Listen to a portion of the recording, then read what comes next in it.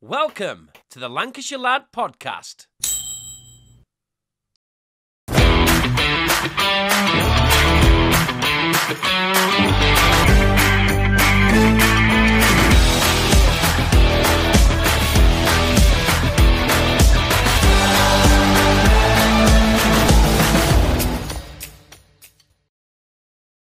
Welcome to the Lancashire Lad podcast. And this week I have got a fantastic guest on the show. You may have seen him plastered all over social media over the last seven to eight years. It is, of course, the Wellstone Raider. It's Gordon Hill. Gordon, how are you? Are you okay? Not bad, mate. Not bad, Stuart. Yeah, all right. All right, mate. Yeah, good.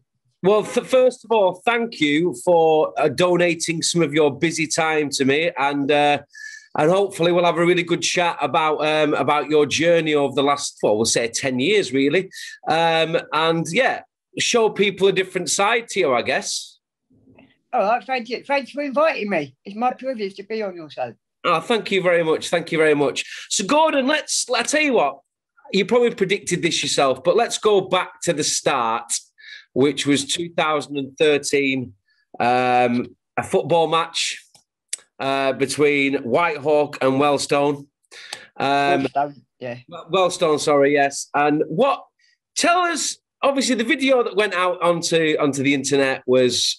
Uh, I think you'd maybe had a few pints, uh, but obviously More than a few. More, more than a than a few. few, yeah. So That's tell what football's all about, isn't it? it is. You tell us what happened that day then. Right, my mate is a bus driver. He's phoned me up. He's got the day off.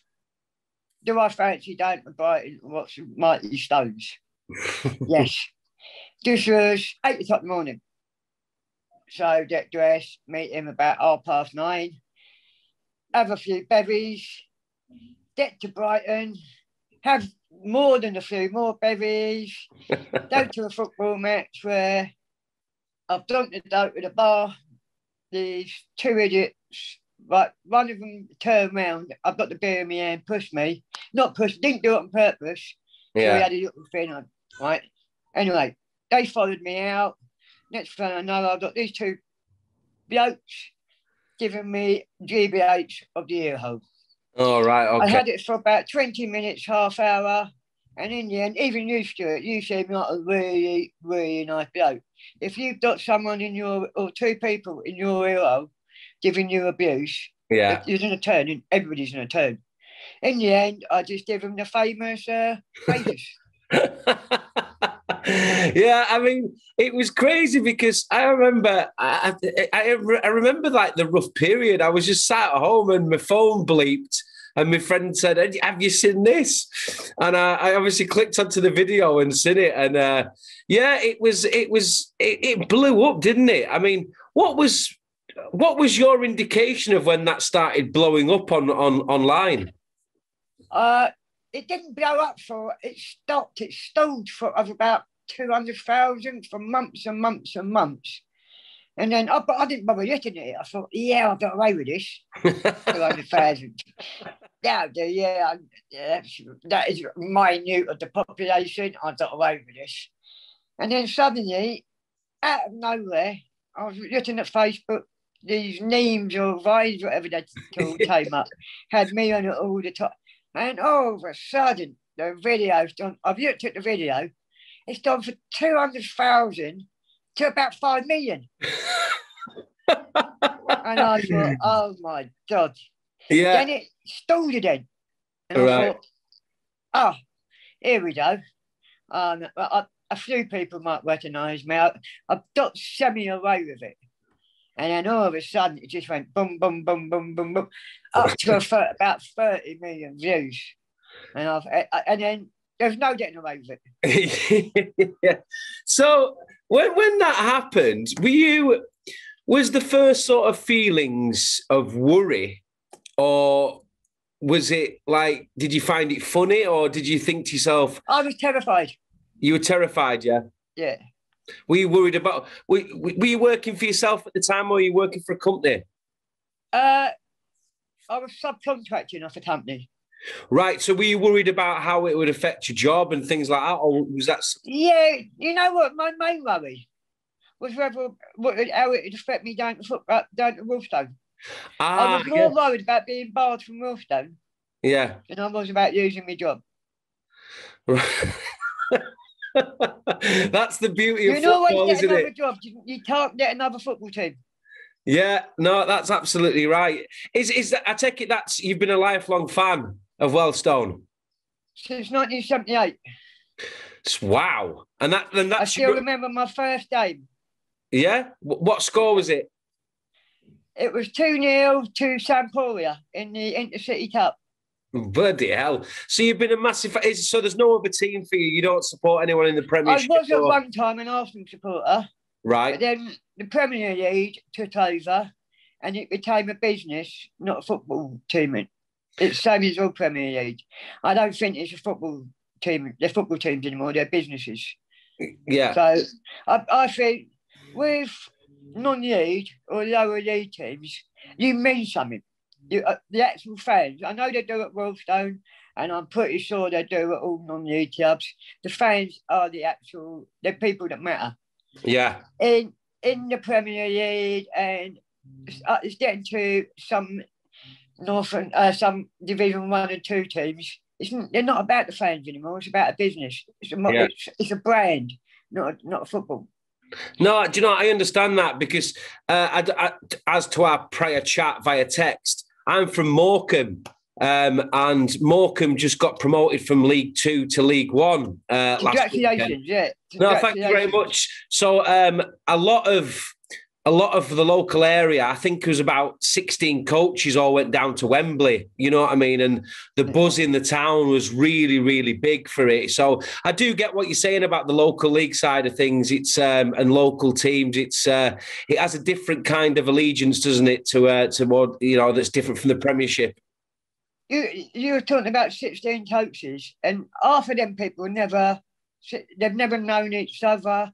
And now, Tuesday went on the coach with them, they know each other. They, they spent whatever time Morton to London, two and a half hours, three hours Yeah. on the coach. No, it was about six hours.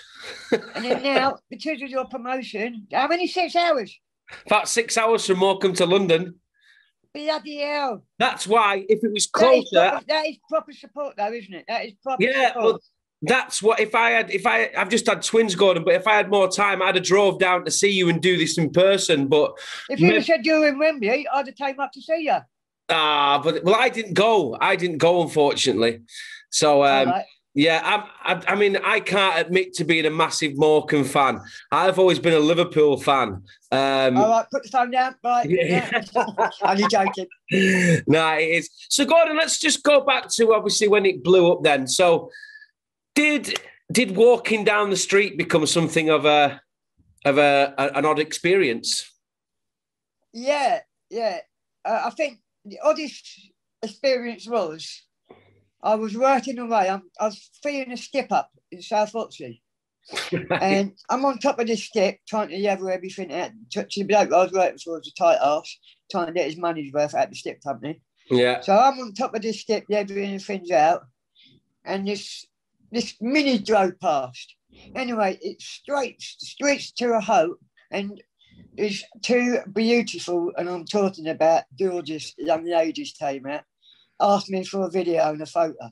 And I'm not the best looking man in the world. That was when I realised something big is going to happen. yeah. So, And so uh, yeah, so yeah, that I was one of I best. take it parts. you said yes. I did say, "Do you want some?" I'll give it to you, but they declined. oh yes, mate, yes. So what what opportunities has it led to? Because obviously, when it first happened, as you said, you were petrified. But I guess the feeling of feeling scared quickly turned into bloody hell. What's happening to me? This is kind of cool. what it has done, and the what I do appreciate it for. I've always done little charity events, little things for charities, Yeah, and before this, I've done little uh, fundraising things. But now, because of me being a Wealdstone Raider, I'm a patron of a charity called Life for a Kid. Uh, they're based in Hull, but they do a magnificent job. And I do a lot, lot my single all made money for charity. I've done a lot of, I've been given a platform to do much more charity work than I could ever dream about, ever even think about. Yeah, and you seem very passionate about that as well. I do, I do. I, I love my charity work. I, it's. I tell you what, when I, like most people, I suffer. I suffer from anxiety and things like that. And then you look around. I go around hospice. I see how the kids. I've got a very good friend I used to visit in hospital when when the Wealdstone Murder first came out. I'm not going to mention his name, but you know you are uh, if you're watching. And I went to visit him in hospital a couple of times, and I went around the whole ward. And it's such a when you see these kids and they're in hospital, but they're laughing, they're smiling, and and you think, are my, are my problems all that bad? Yeah. My problems all that bad. And it makes you sit up and it makes you notice, it makes you think, why am I worried about everyone on the, whether I'm going to get out for a beer this week? And then people you're in there, and them kids are laughing, joking, smiling, and they're in hospital by all their mates. And it doesn't, it bothers them, but they're, they're just, they're on with it. And then it makes you, it puts things in perspective. Yeah, no, it, it's a, I agree with you. It's a fantastic way to look at things because you know we're all human beings and we all have days where we feel like you know we feel like shit, shall we say, and yeah. and things going on in our lives. But sometimes there's nothing more humbling than when you spend time with people that, that really do have it rough. And uh, obviously, you know, from what you're saying, you enjoy you enjoy that that sort of giving back to the community or giving back to what you can help, and at the same time, it makes you a better person because you're seeing these things that you know that upset you. I wouldn't say I enjoy it. It's it's the thing that keeps me sane. Yeah. Okay. And you think about it. I never have to be famous. You get these people that love Iron, that on these reality TV shows, and they think it's all going to be champagne and red carpets. It ain't. It ain't. You get. I've been knocked out. I had. I was knocked out running for a bus. I had a bleed on the brain just because I was the Wealdstone Raider. So uh, that someone who blindsided you? For, pardon? Was that someone that just assaulted you in the street? Yeah, yeah. I wrote. I was running for a bus. Next thing I know, I woke up in an ambulance, being rushed to hospital. Wow. I found out I had a bleed on the brain, which surprised me. I didn't even think I had a brain, but uh, oh, they, I did overnight. They were worried about whether to do uh, a brain operation, but then they realised the brain is so small they wouldn't be able to find it anyway. So, no, all jokes aside, all jokes yeah. aside, I laugh about things I shouldn't, but yeah. uh, it was a, that was a scary time. Yeah, no, I can imagine. Is would you say that the people? Would you say people in general would you say the nicer people outweigh the negative ones, or would you say? it's 50, oh, without a doubt, I'd say, oh, out of hundred people, ninety-nine people are absolutely brilliant. But the same as everything in life. Not only if you're, I don't class myself as a celebrity. I'm nowhere near. I'm, I must admit, I'm a puppet figure. People know me, so yeah, I take that. But even in everyday life, you see people being evil to each other for no reason whatsoever, and it's not for. It's not nice, and just being in the public eye, you're more. I find yourself more of a target for that. Yeah, no, I, I, I can I can imagine what that's like and stuff um, to a certain degree. Is it is it something that you enjoy? I mean, I know you you you were, you were reserved with the word celebrity then, um, etc. But is it something you enjoy being known? Uh, is it a nice feeling? Yes and no. Sometimes you just you can't switch off. Sometimes you can be out with your mates and you people come up. I've been eating food and I'm not knocking them. They don't know eating food. Can I have a photo? Can I have a photo? I'm not knocking. I love it. It's what I started doing at the beginning. Yeah. When people ask for a photo, I say, yeah, have the photo. Would you donate to charity? for me, please. And as I said, nine out of 10 people are so, yeah, they'll put money in a charity box or they'll put money towards my Life for the Kids Foundation. So that is the good side of it. But some, you just can't switch off. People, you might be having a bad day. People that you, people can't read your mind. You know, you'd be having a shitty, really shitty day, like you said. Yeah. People come but you can't. You, you just got to be. You've always got to be smiling, and sometimes that's hard. Yeah, uh, no. You just to do it. Being a public figure isn't all champagne and red carpets. Mm. Is it still as strong as it's as it as it was at the start? Are you still Or is it is it is is is it right now at the height of it now, or Uh, it's not as bad. It's not as it was when it first started. I didn't know nowhere. Nowadays, it isn't too bad. It's it's bearable. But can you imagine? I, I was, couldn't even walk down the street. Yeah, no, I can I can imagine. Gordon, if I saw you, if I saw you, which I hope I will one day, I'd like to come down and meet you, maybe have a beer with you at some If I'm point. in, if I'll be at Morton soon, so I might come and see you. Oh, you're coming up to Morecambe? I'm hoping to. Yeah. Oh, lovely. Well, we can go for a beer. But Yeah. uh, no, but what I was trying to say is, if I saw you, I'd come for a picture with you as well. It's you. you, you you're one of those. I think you. T- you're a proper British character, and British people like British characters, and and yeah, yeah. you know, and that and that's what it. That's what it was. I think that's what was. I don't, as I said, I don't get me wrong. I, I love people coming and asking for photos. Yeah, right? If, if you can make someone happy, just please, just make that little bit of it. It's a hard world out there. And just to make someone, a photo, if someone wants a photo and it makes them happy, I'd do that 24 7.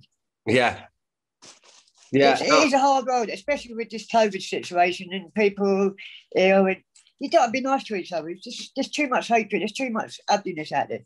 Yeah, I'd, I'd agree with you. Um, just while we're talking about Morecambe, obviously, I don't, I don't know if you know, but Tyson Fury's uh, lives in Morecambe.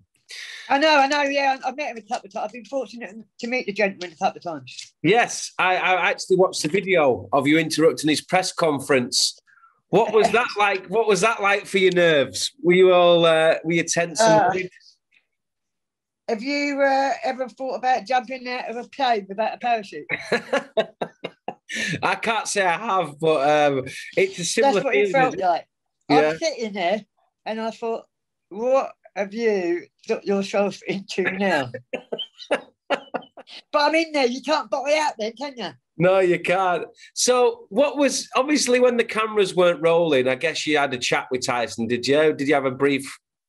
He is. Uh, I met him a couple of times since, Right. and he is absolutely brilliant. The man's amazing, mate. And Yeah. his wife, Paris. I tell you what, Paris wears the trousers in that household, mate. He- Listen, he, he'll beat Wilder up, but then he'll fight. He'll beat Anthony Joshua, but he's no match for Paris, mate. Tell ya. Is she a strong-willed woman? She, uh, eh, listen, she's brilliant. I, I, had, I was fortunate enough to spend about 20 minutes in her company. Right. Woman, I tell you what, they say behind every successful man is a strong woman, and that is definitely in that case. Oh, that's, that's that's great to hear. I've actually uh, I've actually sent uh, I've actually sent like a feeler out to, to interview Paris, so it'll be interesting to see if she comes back and uh, and agrees. But um, She's a very private woman, though. yeah, If you do get an interview of her, you're very, very lucky. Not because she doesn't like publicity, she's very shy, believe it or not. yeah. You don't often see her in the papers, do you? You don't often see her doing interviews. No, no, you, you're quite correct. I think her first job and and what she loves doing is obviously being there for the family and raising the kids and Oh, she's a brilliant mother and all. She, Yeah. No, no, it's cool that you've uh, you've met Tyson a few times and got on with him. Which of us? I tell you what, can I ask you? I'll ask you two questions in one. Which is the nicest celebrity you've ever met, and which is the one that disappointed you the most? Uh, right. The, the nicest one I ever met. Tyson's up there. He is definitely up there. Yeah, But I'd say, as when I was growing up, Gordon Banks was my hero, and, and Paul Gascoigne. I'd say the, the bloke, I'd say Paul.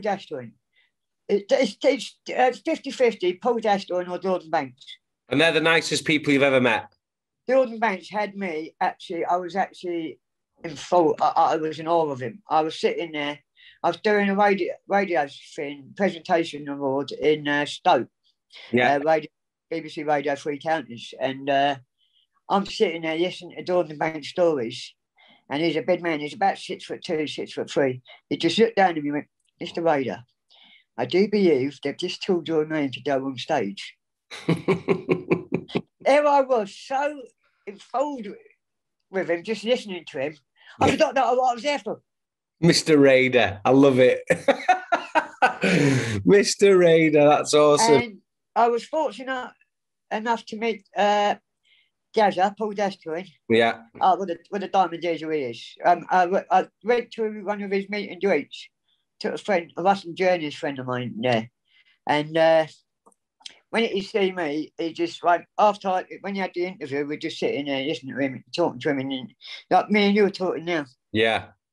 Uh, it, it seems it seems like I think I think we're talking about arguably the most talented British footballer, well English football. I'm not sorry. that good.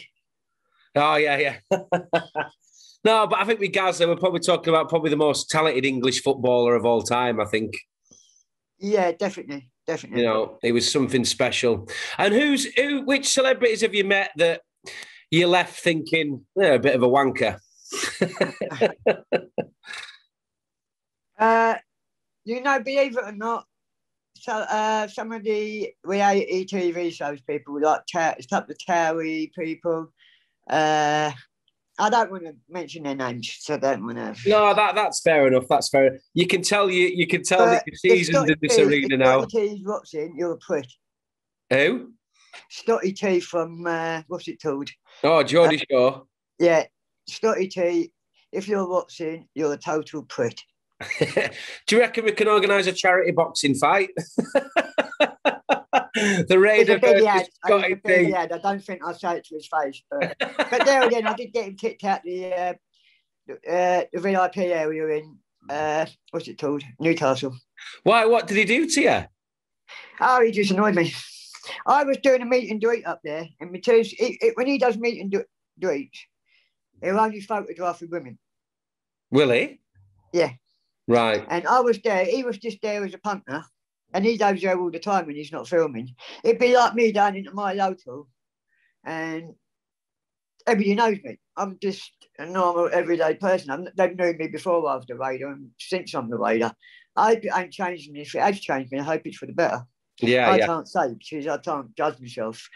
But he was, I was there. People were tearing up to have photos. He came storming in the area, pushed me out the way to Tubin. And I, didn't even know who he was. Right. So he So pushed you out it- the way, did he? Right? He pushed you out the way. Yeah. So he, and I've, I- I've got him ticked out the uh, VIP area. So he came steaming in, ripped his t-shirt off, came steaming up.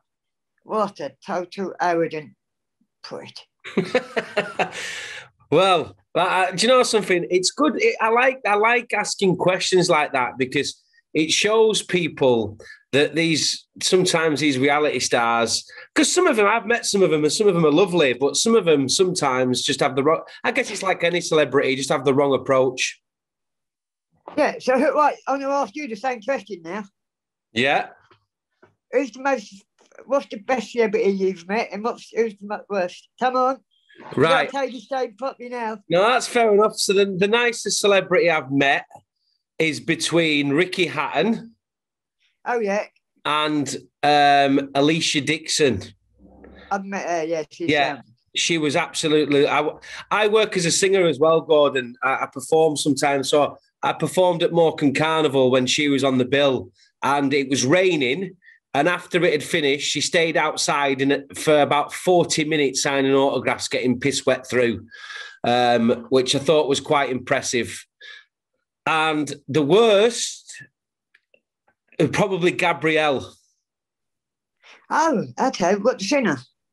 Uh, yeah, she was just very rude, and uh, the people that I worked with that booked her, uh, Yeah. she she gave them a very hard time about accommodation. Uh, refused to sort of stay in the accommodation they booked, and just literally. And when she'd finished, she just went from stage to car to gone. There was no Yeah, time. nice. Yeah, so yeah, so Ricky Hatton, Alesha Dixon, probably the nicest two I've met and talked to, and yeah, Gabrielle would probably the one that was yeah, probably Yeah, yeah, a bit office, yeah. yeah, So that that's pretty much it. So, Gordon, what what you do? What do you do for, at the minute for for a job then? I work in a warehouse in, uh, did I mention the firm's name? Yeah, no, well, we, we, we I won't work for a firm, Orbital Fasteners. We do nuts, bolts, screws, power tools. Uh, it's hard work, but it's a great, and it's a great, we've got a great bunch of lads there. Uh, Yeah. We have a laugh, we work hard. Our managers all right. He's not a bad chap. I hope he's not watching, so I don't want to be asked. uh, yeah, we yes. Do you have to work, Gordon, or is it a choice? Do you, do you have do you, do you have money saved up from the from when it blew up? Or what I'm trying to say is, what I'm trying to say. I've made a couple. I'm, I'm not going to say I've made some money. Yeah, just enough money to live on. Most right. most of the money I've made on the charity. Right, that's that's very admirable. That's very admirable. I just wondered if you working full time doing that job was a choice. me, if I had money, I wouldn't be working full time. All right, fair enough. I tell you what, you're so down to earth, Gordon. Honestly, I'm really enjoying this chat. Um, you, have got your head screwed on so much. Don't worry, don't worry. Thanks for saying that. The, the check's in the post. it's all right, mate. It's all right. So um, let me get let me get this uh, question for you. So, um, oh, that was it. So, you are are you still are you still associated with Great Ormond Street, or is it still something that you're passionate about? I'm still passionate about it. Yeah. I love the, the, the hospital were absolutely amazing when I was under. Yeah. Uh, I don't think I'd be here if it wasn't for Great Ormond Street Hospital. But the thing I don't, I'm giving it, I'm, and I start doing it for uh, local charities, not local, smaller charities, because when you give money to a charity, you don't expect it to go to uh, CEOs uh, and staff. Just a CEO at uh, Great Ormond Street on 360 grand a year. Yeah. So I don't give the charity money for him. I give them £36,000. That was a month's wages for him. So sorry, yeah. I won't even do that. So I do it, especially now. Uh, the local charities, the little, I've got, I'm getting involved in another charity at the moment. It's called the W, I think it's WC Rickmansworth, Stotters Farm Wildlife Fund.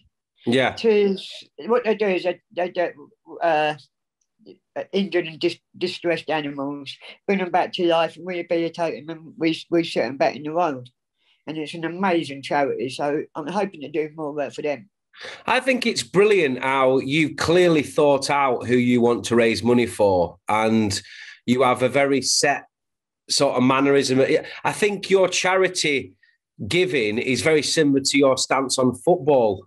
You'd rather make a difference and be a fan where you're appreciated and it can be felt.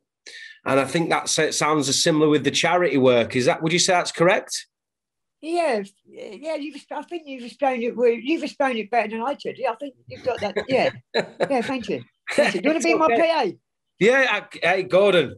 I mean, we, we, I, would love to work with you, you know, whenever we can. So uh, I'm sure we'll keep in touch because, of course, I've got I've got your phone number. Hey, that's a question for you. I tried to ring you and uh, it went to answer phone, and it said you came up and you say, you say, "Hi." What it is, it stops the haters. Right. The abusive, you, you haven't believed abusive message. I just trying touching back on this, how evil people can be, you don't believe some of the messages I've got. I would, I'll tell you what, this is a family, so I wouldn't want to repeat them. But so just, just at one time, the police were, I had to have the police monitoring my tools.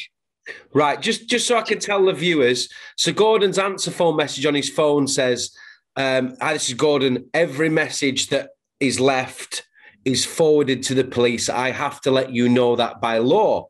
Yeah. Uh, so that's what he's obviously saying now, but it caught me yeah. off guard a little bit. I was like, oh. That's, you know. that's what it's going to be because that's what I normally say. Not, i should have told you to leave a message if I know the name.